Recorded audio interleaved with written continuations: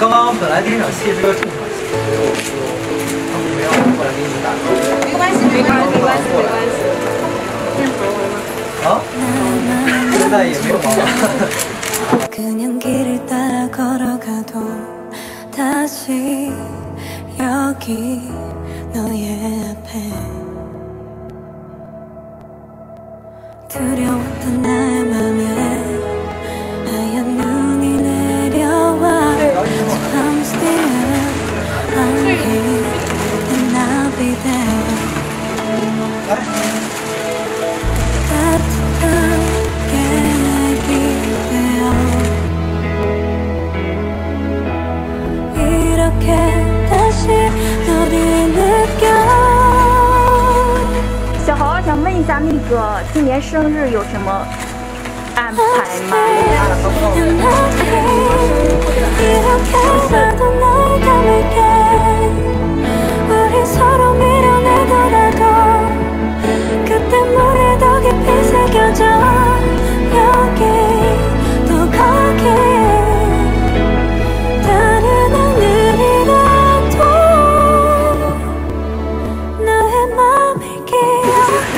会想想想想聊的。